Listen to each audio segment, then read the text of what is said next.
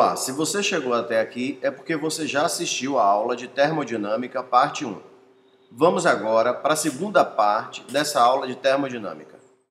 Muitos livros de bioquímica trazem ao lado de cada reação química de uma via metabólica o seu valor de ΔG. E aí você vai observar que muitas dessas reações estão aparecendo com o valor de ΔG positivo.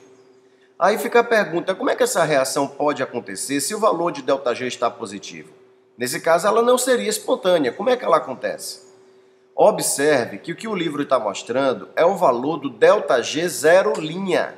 E você já viu o vídeo 1, então você sabe que o valor de ΔG zero linha é medido dentro das condições padrão e com pH 7. A importância do ΔG zero linha é apenas para que nós possamos comparar uma reação com a outra. Mas o interior da célula não está dentro das condições padrão. Na verdade, o que a célula faz, em especial as suas membranas, tanto a membrana plasmática como a membrana das organelas, é alterar as concentrações das substâncias envolvidas. Veja, cada membrana deixa o interior do compartimento com as substâncias com uma determinada concentração que faça a reação acontecer no sentido de interesse da célula. Então as membranas manipulam as concentrações das substâncias envolvidas para que o ΔG fique negativo no sentido de interesse da célula.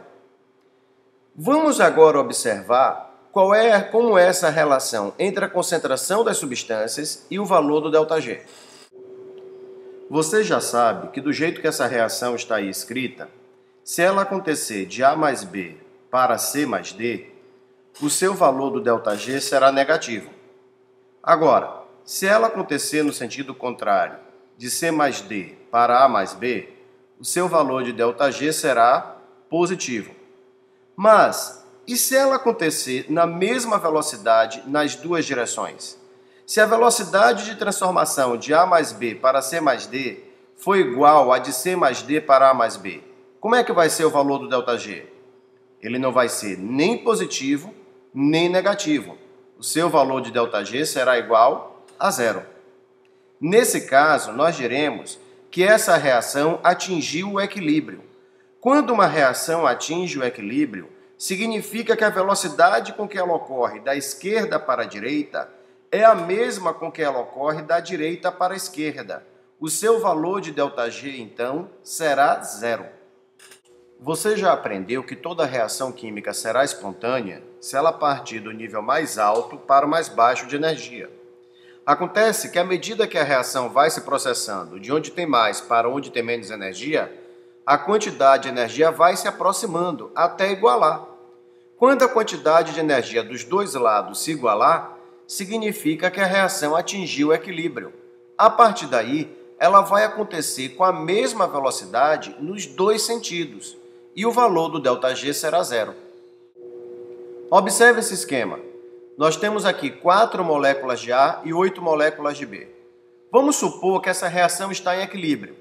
Então, nesse meu exemplo, os valores são arbitrários, é apenas um exemplo. Neste meu exemplo, o equilíbrio se dá numa proporção de 4A para 8B. Se está em equilíbrio, significa que o ΔG é igual a zero. Não há variação de energia livre. A quantidade de energia livre do lado esquerdo vai ser igual à quantidade de energia livre do lado direito. Agora, observe essa outra condição. Vamos chamar de condição 1.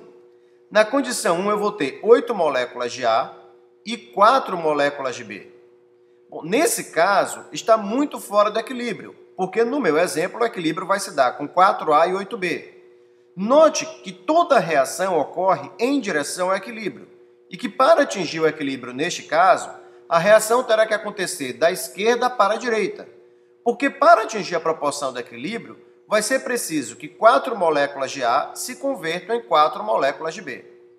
Como essa reação vai acontecer no sentido em que está escrita, que é da esquerda para a direita, o valor do ΔG dela será negativo. Na verdade, ele será muito negativo, porque ela estava muito longe do equilíbrio.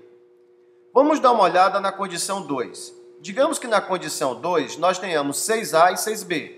Não se engane, apesar dos números serem iguais, ela não vai estar em equilíbrio, porque nesse meu exemplo nós determinamos que o equilíbrio vai se dar com 4A e 8B. Observe que para atingir o equilíbrio, ela terá que acontecer de novo da esquerda para a direita, porque teremos que reduzir a quantidade de A para 4 e aumentar a quantidade de B para 8. Então aqui nós temos 6 moléculas de A, 6 moléculas de B. Para atingir o equilíbrio, duas moléculas de A terão que se converter em duas de B. Como a reação aconteceu no sentido que está escrita, da esquerda para a direita, o ΔG dela será negativo. Não vai ser muito negativo porque já estava mais próximo ao equilíbrio. Na condição 3, digamos que nós tenhamos 4A, 8B. Bom, nesse caso já está no equilíbrio porque nesse nosso exemplo nós combinamos que o equilíbrio vai acontecer nessa proporção, 4A, 8B. Então a reação vai acontecer nos dois sentidos com igual velocidade. O ΔG nesse caso não será nem negativo nem positivo. O ΔG será zero. Vamos dar uma olhada na condição 4. Nós agora temos duas moléculas de A e 10 moléculas de B. Ora, toda reação vai em direção ao equilíbrio. Neste caso, para atingir o equilíbrio, teremos que aumentar as moléculas de A e diminuir as moléculas de B. Então a reação vai acontecer da direita para a esquerda, porque para atingir o equilíbrio vai ser necessário que duas moléculas de B se convertam em duas de A, para chegar àquela condição inicial que nós combinamos, que são 4A, 8B. Nesse caso, o ΔG será positivo, porque a reação aconteceu no sentido contrário ao que ela está escrita, da direita para a esquerda. Agora vamos à condição 5, a última condição. Suponha que nós não tenhamos nada de A, mas tenhamos 12 moléculas de B. Ora, essa reação de novo vai acontecer da direita para a esquerda, porque vai ser preciso aumentar a quantidade de A e diminuir a de B. Na verdade, quatro moléculas de B terão que se converter em A. Essa reação também terá um ΔG positivo, porque está acontecendo no sentido contrário ao que ela está escrita. Só que agora o ΔG será muito positivo, porque ela estava muito fora do equilíbrio. Vamos fazer de novo uma comparação com a água. Imagine uma barragem. Se o nível de água dos dois lados estiver igual, ao abrir a comporta, não vai acontecer nada, porque já está em equilíbrio. Mas se o nível de água do lado esquerdo estiver maior do que o nível do lado direito, ao abrir a comporta, a água vai se movimentar da esquerda para a direita. E isso vai liberar energia. É assim que nós produzimos, por exemplo, energia elétrica. Agora pense na quantidade de água nessa barragem como se fosse uma quantidade de energia. Isso significa que quanto mais distante do equilíbrio estiver, quanto mais água tiver de um lado em relação ao outro, maior será a quantidade de energia que vai ser possível extrair. É a mesma coisa que acontece nas reações químicas. Se uma reação tem um ΔG muito negativo, muito longe de zero, muito negativo, dá para se extrair uma grande quantidade de energia dela. Se o ΔG, por sua vez, está muito positivo, essa reação pode se tornar irreversível sob as condições celulares, porque seria necessário fornecer muita energia para ela acontecer ou alterar demais a concentração das substâncias envolvidas. Então, para encerrar, se você vê no seu livro uma reação com ΔG muito negativo, significa que ela pode liberar muita energia a célula pode obter muita energia a partir dela. Se aparece uma reação com ΔG zero linha um pouco positivo, lembre que o zero linha é em condições padrão com pH 7.